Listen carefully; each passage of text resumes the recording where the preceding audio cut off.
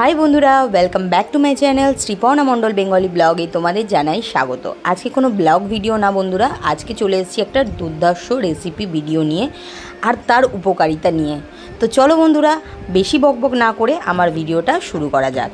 আজকে করব ব্রাহ্মী শাকের রেসিপি তো ব্রাহ্মী শাকের রেসিপি করব যেহেতু, তাই জন্য এর কি গুণ আছে সেটাও তোমাদের সঙ্গে শেয়ার করব। আমি যতটুকুনি জানি। তো চলো বন্ধুরা, ব্রাহ্মী শাক দেখতেই পাচ্ছ, একদম পুরো তরতাজা ব্রাহ্মী শাক নিয়ে এসেছি। আর ব্রাহ্মী শাকটা হচ্ছে একদম ডগগুলোকে আর পাতাগুলোকে কেটে নিতে হয়। আর এটা ঘি দিয়ে ভাজতে হয়, তাহলে এর গুণাগুণ কিছুই নষ্ট হয় না। তো বলে দিই, এই শাকটা হচ্ছে ব্রেন ভালো রাখতে খুব সাহায্য করে।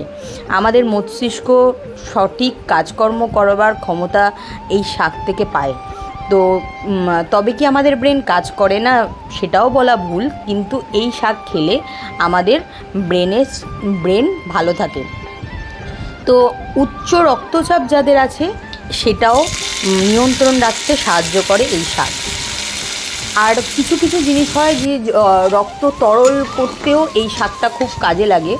কারণ বেশি রক্ত যদি জমাট খেয়ে যায়, তাহলে হার্ট অ্যাটাকের সমস্যা হয়ে থাকে। সেই জন্য রক্ত তরল রাখতেও সাহায্য করে এই শাক।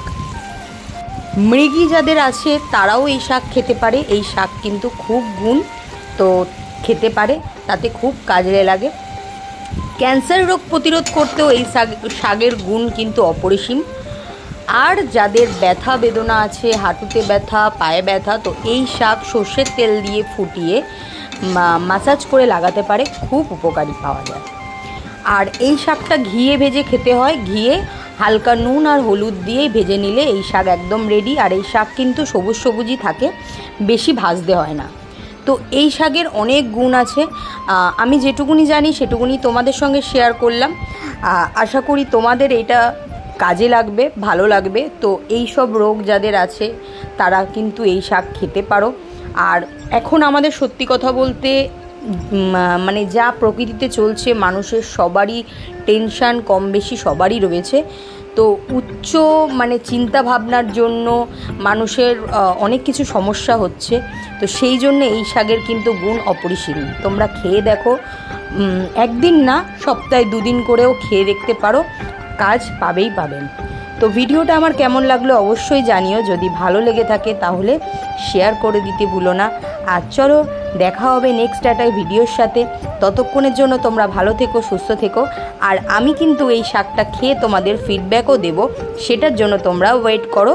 আর সবাই কিন্তু কমেন্ট করে জানিও কেমন লাগল তোমাদের এই শাক। শাকটা তোমরা বাড়িতে রান্না করো আর খেয়ে দেখো। আমি বলব তোমরা উপকার পাবে। বাচ্চাদেরও দিতে পারো, খুব ভালো। কারণ আমরা বলেই থাকি, বাচ্চাদের বুদ্ধি কমে গেছে, খাওয়া উচিত। অল্প একটু ভাত দিয়ে মেখে নিয়েছি।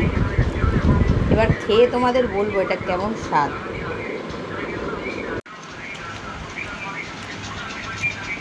একটু হালকা টক টক মানে তিত তিত ফুটে আছে।